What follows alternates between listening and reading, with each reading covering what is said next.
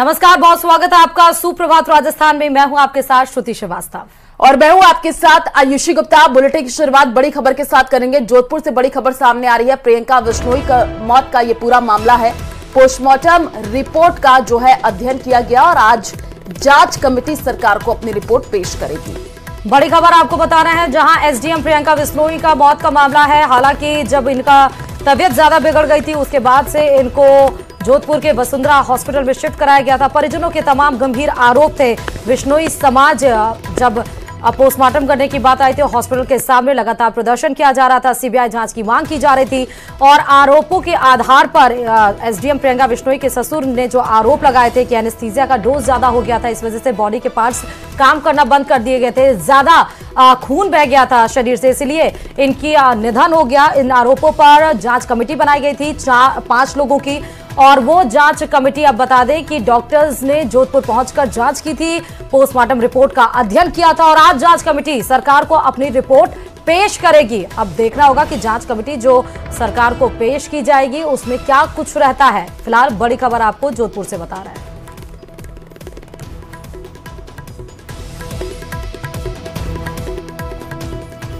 तो ये बड़ी जानकारी आपको जोधपुर से दे रहे हैं।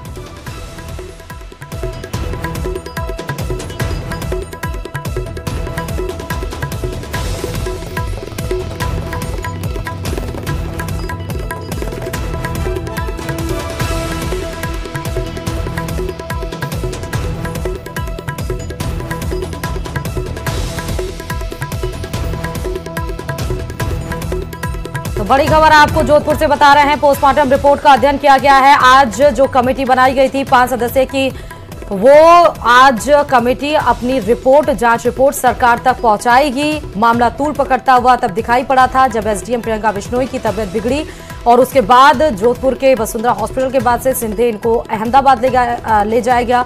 बीते बुधवार को इनका निधन हुआ, उसके बाद से बिश्नोई समाज लगातार उनमें रोष व्याप्त था, परिजन लगातार गंभीर आरोप लगा रहे थे। कलेक्टर ने आरोपों के आधार पर पाँच सदस्यीय कमेटी बनाई थी। कमेटी ने रिपोर्ट सौंपी और उसके बाद से आज वही रिपोर्ट आपको बता दें। पोस्टमार्टम रिपोर्ट अध्ययन करने के बाद अपनी सरकार को रिपोर्ट कमेटी के द्वारा सौंपी जाएगी। बड़ी खबर आपको प्रियंका बिश्नोई की मौत के मामले में इस वक्त ही बता रहे हैं।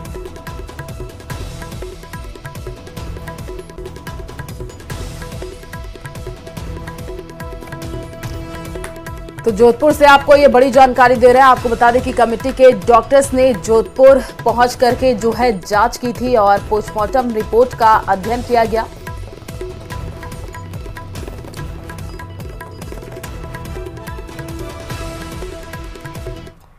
और अब बात जयपुर से बड़ी खबर की। जयपुर में आयोजित होने जा रहा आईफा अवार्ड। डिप्टी सीएम दिया कुमारी की मौजूदगी में एमओयू होगा।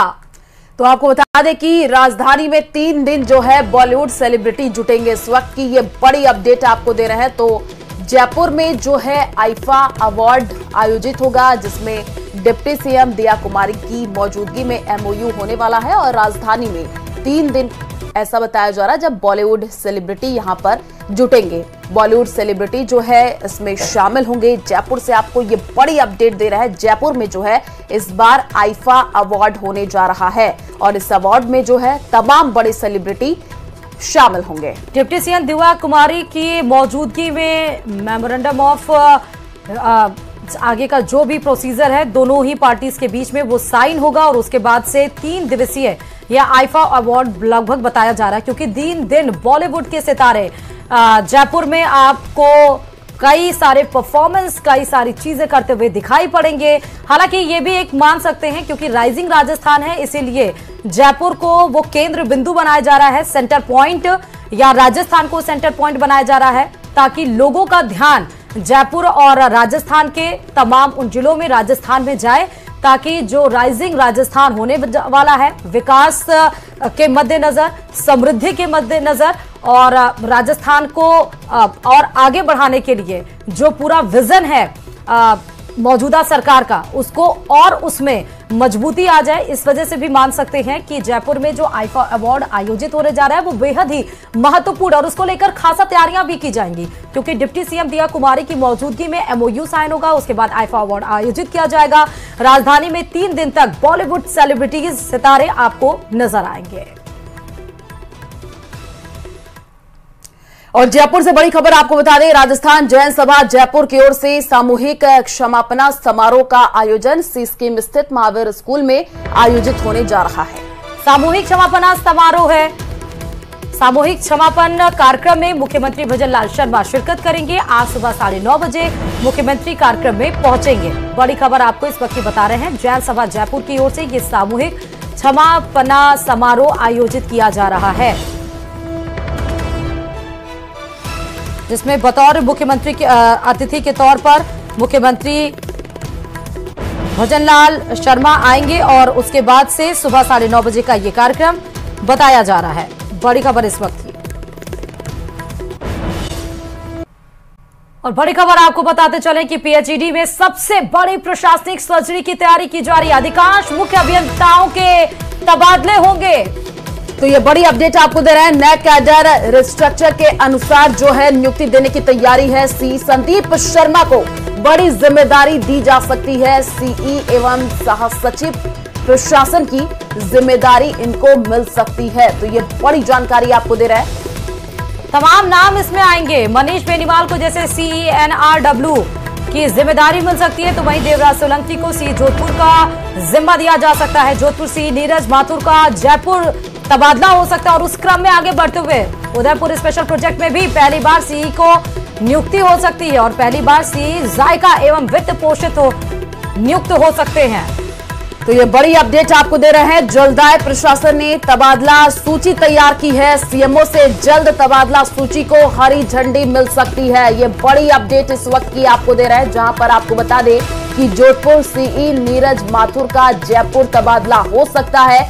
वहीं मनीष बेनीवाल को सीई एनआरडब्ल्यू की जो है ज़िम्मेदारी मिल सकती है। सीई एवं सह सचिव प्रशासन की जो है ज़िम्मेदारी संदीप शर्मा को मिल सकती है। इस वक्त की सबसे बड़ी अपडेट आपको देना है। पीएचडी में सबसे बड़े प्रशासनिक सर्जरी की जो तैयारी है वो चल रही है। और वैसे भी देखा गया कि पीएचडी विभाग लगातार भ्रष्टाचार के भेंट चढ़ता रहा और इस मद्देनजर भी ये प्रशासनिक सर्जरी सबसे ज़्यादा महत्वपूर्ण मानी जा रही है। और प्रदेश में सात सीटों पर होने वाले उपचुनाव से पहले कांग्रेस फुल फॉर्म में नज़र आ रही है। कांग्रेस ने तय किया है कि वो सात सीटों पर सात अंक के मुताबिक ही तैयारी करेगी और इसके तहत कांग्रेस अगले सात दिन प्रदेश की सात सीटों के लिए मंडल स्तर पर जाएगी और भजनलाल सरकार की नौ महीने की नाकामियाँ गिनाएगी। देखिए रिपोर्ट।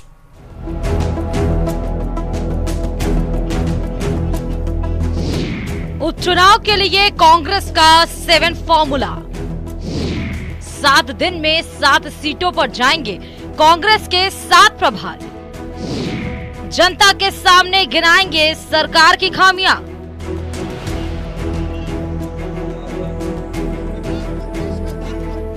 लोकसभा चुनाव में बेहतर प्रदर्शन करने वाली कांग्रेस उपचुनाव से पहले पूरे आत्मविश्वास में दिख रही है। उपचुनाव की तैयारी के तहत कांग्रेस की रणनीति भी अलग नज़र आ रही है। कांग्रेस ने फैसला किया कि वो अगले सात दिन में मंडल स्तर पर जाएगी और सरकार के पिछले नौ महीने के कार्यकाल की खामियाँ गिनाएगी। ऐसा करके कांग्रेस जनता के विश्वास के लिए वोट हासिल भी करना चाहती है। कांग्रेस अगले सात दिन हर एक मंडल अध्यक्ष के साथ बैठक करेगी। सभी सात सीटों के लिए सुझाव तैयार किए जाएँगे। इसके अलावा कांग्रेस सभी सात सीटों पर खुद ही फोकस करेगी, जिसमें गठबंधन वाली दोनों सीटें भी शामिल हैं।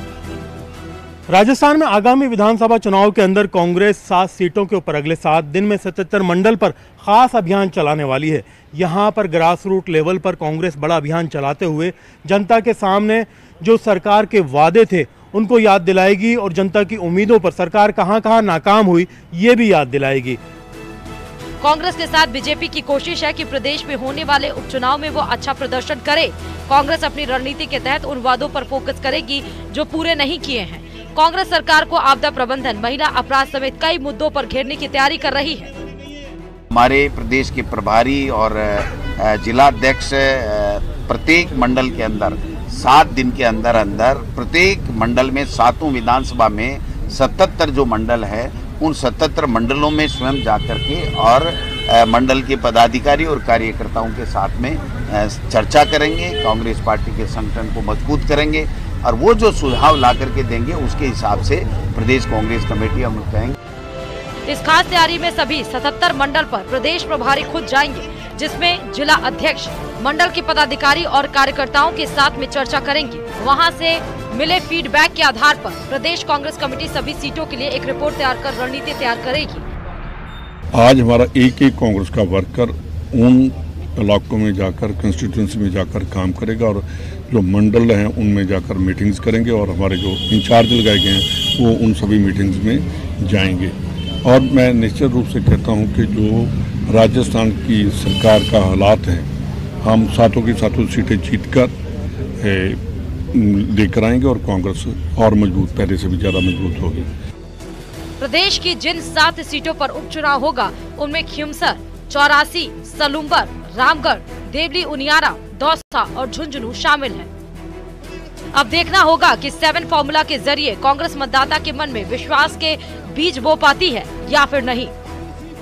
प्रदेश में चौरासी और खीवसर जैसी सीटों के ऊपर जो गठबंधन की स्थिति बनती हुई नज़र आ रही थी, उसको लेकर के भी कांग्रेस ने स्थिति स्पष्ट कर दी है कि फ़िलहाल हम अपने कैडर के साथ में पूरी ताकत से तैयारी कर रहे हैं। रही बात गठबंधन की तो आखिरी फैसला आला कमान का होगा। अब देखना यह होगा कि इन तमाम सात सीटों पर जिस तरह से कांग्रेस तैयारी कर रही थी, उस तरीके से नतीजे क्या रहते हैं। कैमरा पर्सन दिलीप चेची के साथ में अरबाज अहमद, न्यूज़ एटीन के लिए जयपुर से। और अब एक नज़र टॉप टेन खबरों पर। Quad leaders